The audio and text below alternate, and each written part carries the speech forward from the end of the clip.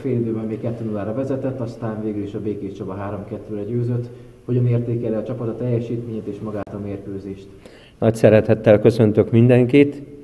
Rendkívül csalódott vagyok, hiszen első félidőben a két gólon kívül még voltak lehetőségeink, sőt a második félidő elején is el kellett volna dönteni a találkozót, egyet hibáztunk egyet, amivel felhoztuk a hazaiakat, és ők ezt jól használták ki.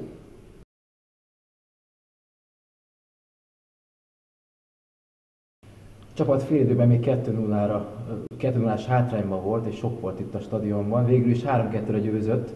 Hogyan értékeled a mérkőzést?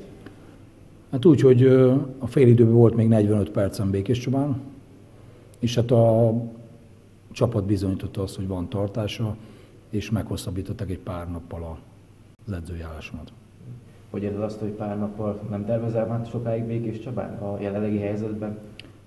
Nem erről van szó. Mindenkinek el kell dönteni, hogy melyik irányba megyünk.